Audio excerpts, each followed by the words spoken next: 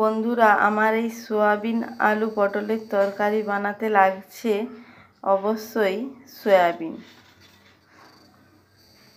এখানে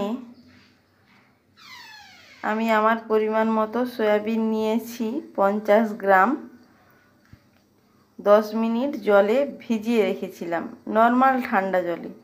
তারপর ভালো করে ধুয়ে ছেঁকে নিয়েছি, দেখুন, জল বেরোচ্ছে না।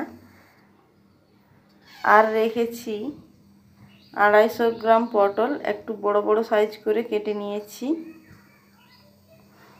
আর নিয়েছি দুটো মিডিয়াম সাইজের আলু, দেড়শো গ্রাম আলু হবে এরকম। দুটো মিডিয়াম সাইজে ডুমো ডুমো করে কেটে রেখেছি। এবার এই আলু, সয়াবিন, পটল, এগুলোর মধ্যে লবণ আর হলুদ মাখিয়ে পাঁচ মিনিট আমি রাখব। অল্প করে হলুদ।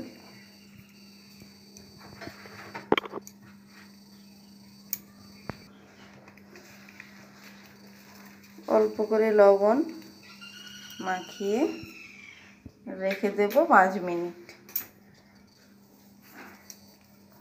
তাতে ভালোভাবে লবণটা ঢুকে যাবে সবজি, সোয়াবিনের মধ্যে। পাঁচ মিনিট রাখার পর আমি এগুলো কড়াইতে তেল গরম করে ভাজা ভাজা করে নেব। কড়াই গরম করে আমি তেল দিয়ে দিচ্ছি।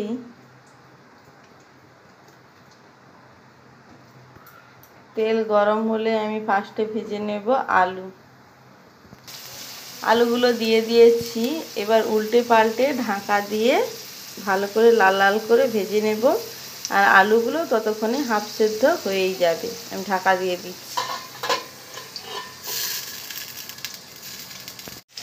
আলুগুলো খুব সুন্দর লাল লাল হয়ে গিয়েছে। আর দেখুন সেদ্ধ হয়ে গিয়েছে। এটা আমি নামিয়ে রেখে পটলগুলো ভেজে নিচ্ছি। পটলগুলো আমি না ঢাকা দিয়েই ভাজবো। পটলের মধ্যে ঢাকা দিয়ে দিলে জল বেরিয়ে যাবে। সেই জন্য আমি ঢাকা দেব না। খোলা রেখেই ভাজা করব।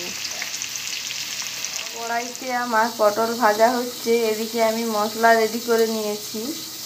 হাফ চামচ রসুন বাটা, এক চামচ আদা বাটা একটি বড় পেঁয়াজ বেটে নিয়েছি আর একটি মিডিয়াম সাইজের টমাটো বেটে নিয়েছি।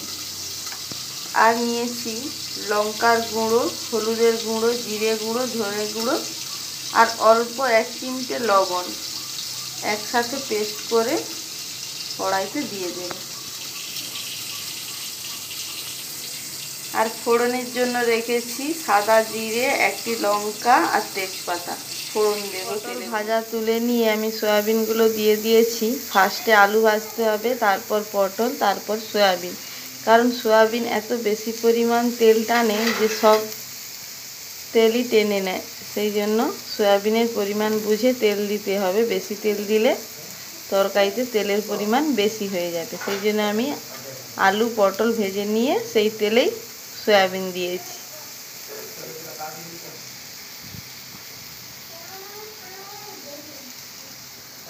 আর আমি শুকনো মশলাগুলো একটু জল দিয়ে ভালো করে পেস্ট করে নিয়ে রেখেছি।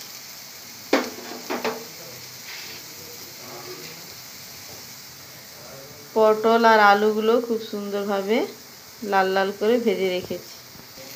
এবার আমি সয়াবিনগুলো নামিয়ে নিয়ে তেল গরম করে ফোড়ন রেখেছিলাম। তেজপাতা লঙ্কা সাদা জিরে ওটা ভাজা হতে আমি আদা পেঁয়াজ জিরা এগুলোর পেস্টটা একসাথে দিয়ে দিয়েছি।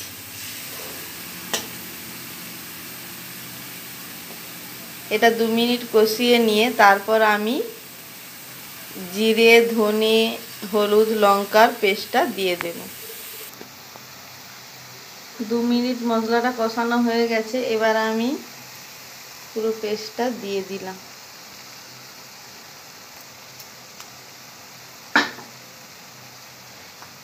মিডিয়াম আঁচে আমি রেখেছি এটা আবার ভালোভাবে দু মিনিট কষাবো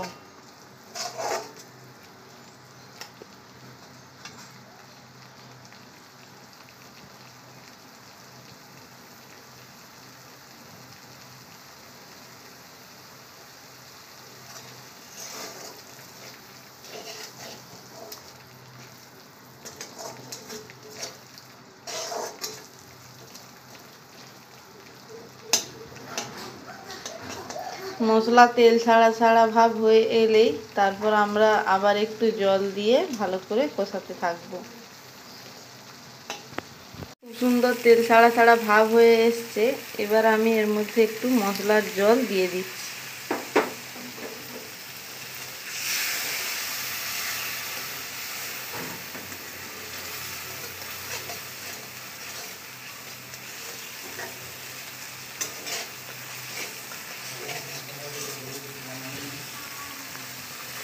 খুব সুন্দরভাবে মশলাটা ফুটছে। এবার আমি এর মধ্যে সয়াবিন, আলু, পটল সব কিছুই দিয়ে দিলাম।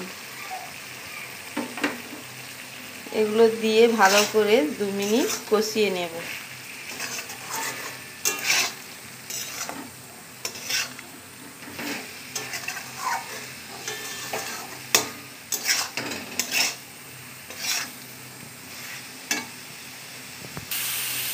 খুব সুন্দরভাবে এটা কষানো হয়ে গিয়েছে এবার। খুব সুন্দর একটি কালারও এসেছে। আমি এর মধ্যে এক বাটি জল দিয়ে দেব।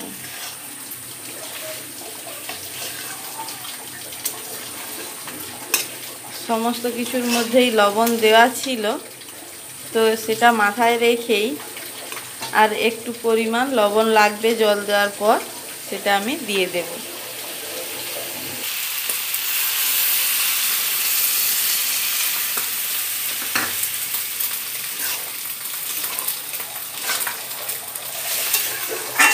এই সবজি বেশি ঝোল ভাব থাকবে না, মাখো মাখো ভাব হবে। আর সয়াবিন প্রচুর পরিমাণে জল টেনে নেয়। সেই জন্য সবজির পরিমাণ বুঝে অবশ্যই আপনারা জল ব্যবহার করবেন।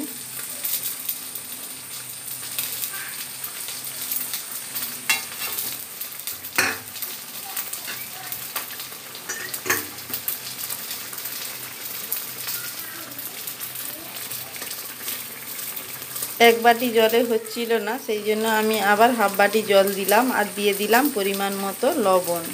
এটা খুব সুন্দরভাবে ফুটছে, এবার আমি ঢাকা দিয়ে দু মিনিট ফুটিয়ে নেব। ঢাকনা খুলে আমি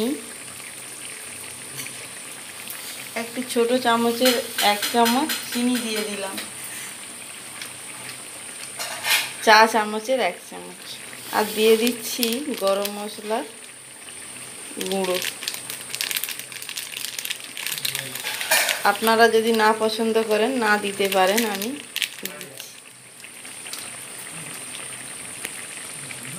আর দিয়ে দিচ্ছি হাফ চামচ ঘি।